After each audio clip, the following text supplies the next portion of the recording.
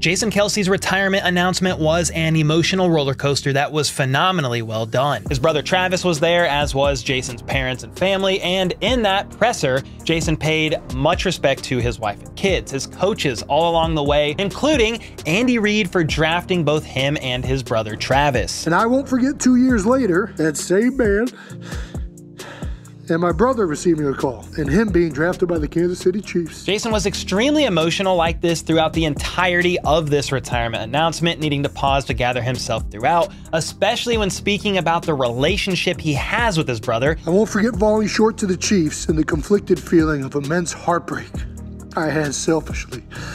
And at the same time, the amount of pride I had that my brother climb the mountaintop once again. The impact that Jason Kelce left on the game will forever be remembered, and I know that whatever he decides to do in his career after football is going to be extremely successful.